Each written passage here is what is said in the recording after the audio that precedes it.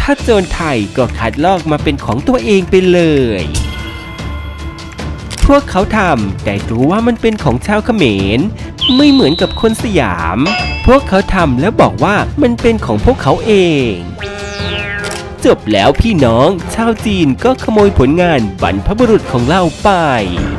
จนมาเห็นกับตาจนพาใจมาเจอบอกแล้ว ตัวเองมีของดีไม่ปกป้อง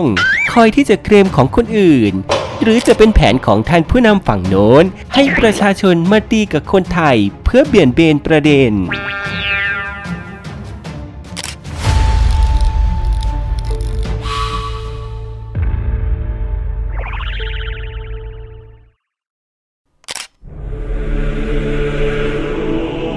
สำนักข่าวจีนได้รายงานว่าณขณะนี้บรรดานักท่องเที่ยวชาวจีน สามารถชื่นชมความงดงามของนครวัด ซึ่งเป็นสถานที่ท่องเที่ยวชื่อดังได้แล้ว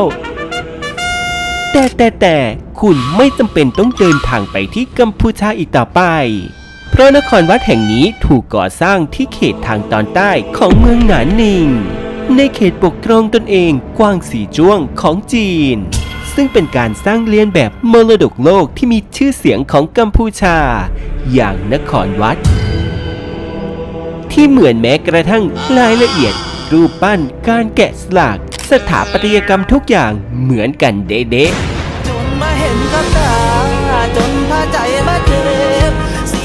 ซึ่งทางทีมงานผู้ออกแบบก็ได้บินข้ามฟ้ามาเก็บข้อมูลรายละเอียดต่างๆ ถึงเสียมเรียบ ซึ่งอังกอร์วัดคอมเพล็กซ์ที่จีนสร้างตามแบบนครวัด บอกได้เลยคือสถานที่ที่กัมพูชาควรหวาน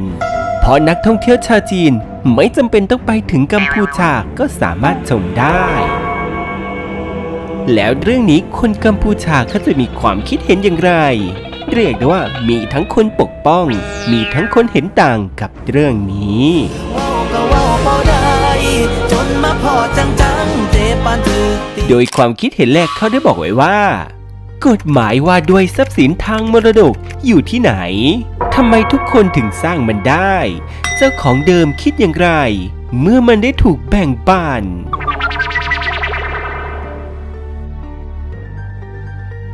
ความคิดเห็นต่อมาได้บอกไว้ว่า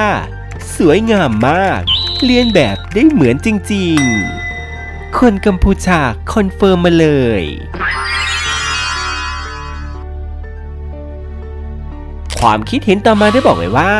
ถ้าอินเดียทำก็จะต่อต้านมาก แต่นี่จีนทำอีกก็จะดีใจมาก ความคิดเห็นของชาวกัมพูชาคนต่อมาได้บอกไว้ว่า จีนเห็นประโยชน์ของสิ่งเหล่านี้ชัดเจน ในอนาคตกัมพูชาจะเสียใจทีหลัง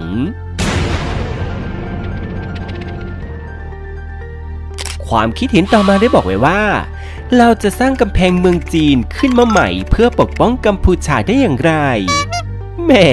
เจ๋งจริงๆกับมากับกับไม่โกง ความคิดเห็นต่อมาได้บอกไว้ว่า ที่ฝรั่งเศสก็เคยมีนะ สิ่งก่อสร้างนครวัดในกรุงปารีส ที่ฝรั่งเศสปี 1931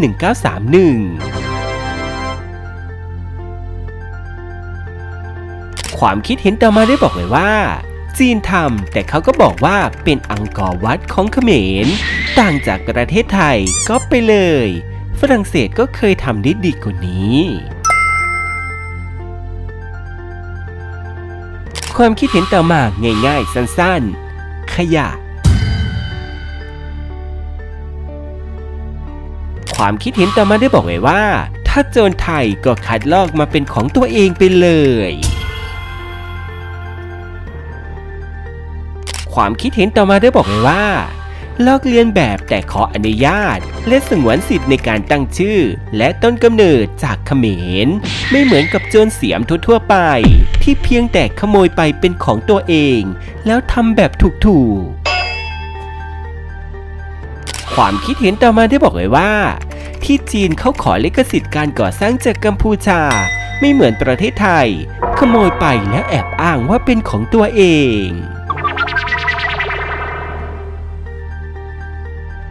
ความคิดเห็นต่อมาได้บอกเลยว่า ไทย เสียมก๊อปปี้ทั้งหมดจากกัมพูชาไปแล้วแหละ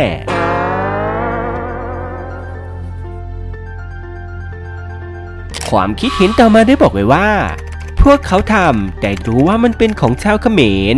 ไม่เหมือนกับคนสยาม พวกเขาทำแล้วบอกว่ามันเป็นของพวกเขาเอง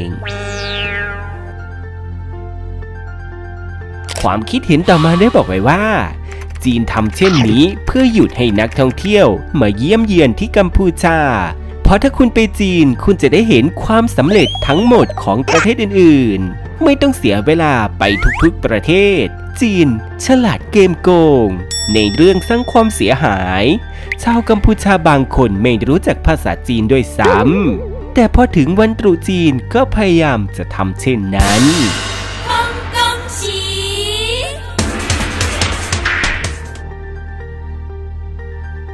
ความคิดเห็นต่อมาได้บอกไว้ว่า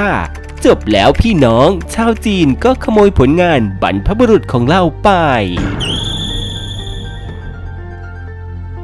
ความคิดเห็นต่อมาได้บอกไว้ว่า ไม่มีอะไรไปมากกว่าการขโมยมรดกของบรรพบุรุษเขมรของเรา แม้แต่เครื่องบิน จีนก็ขโมยมาจากสหรัฐอเมริกา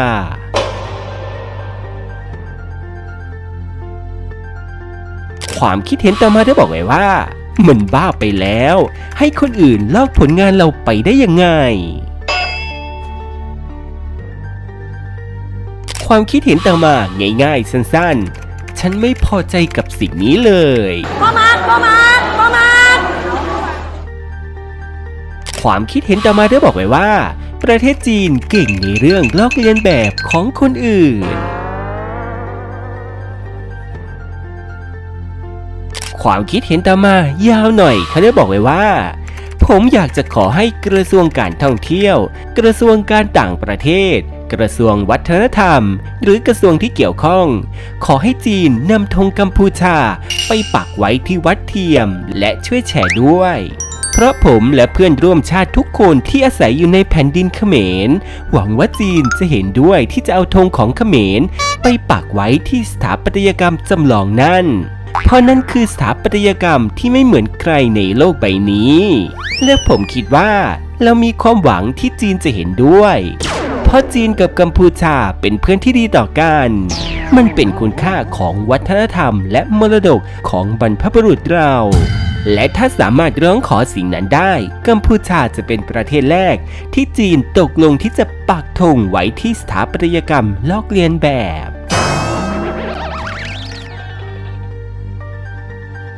เรามาดูความคิดเห็นของชาวไทยกันบ้าง จะมีความคิดเห็นอย่างไรกับเรื่องนี้ โดยคนแรกได้บอกไว้ว่า อุ้ย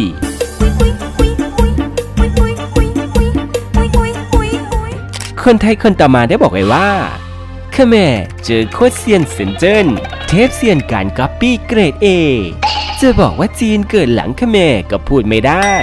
พราะเฮียแกเขามีประวัติศาสตร์มาเป็นหมื่นปีขแม่แค่พันปีต้นๆความคิดเห็นต่อมาได้บอกไว้ว่า ลูกจะหือกับพ่อได้ไง ความคิดเห็นต่อมาได้บอกไว้ว่า เพื่อนรักหักเหลี่ยมโหด โดนสมั่งจะได้รู้สำนึก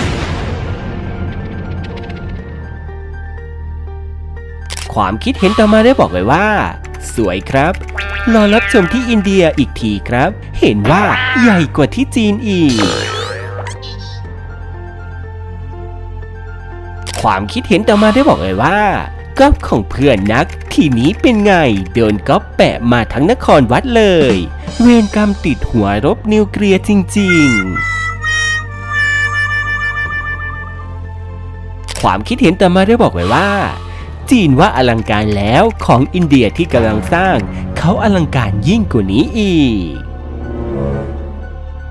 ความคิดเห็นต่อมาได้บอกไว้ว่า บอกแล้วตัวเองมีของดีไม่ปกป้อง คอยที่จะเคลมของคนอื่น หรือจะเป็นแผนของท่านผู้นำฝั่งโน้น ให้ประชาชนมาตีกับคนไทยเพื่อเบี่ยนเบนประเด็น แล้วเพื่อนๆล่ะมีความคิดเห็นอย่างไรกับเรื่องนี้ ถ้าชื่นชอบคลิปแนวนี้ อย่าลืมกดติดตาม กดกระดิ่งเพื่อรอรับคลิปใหม่ได้เลย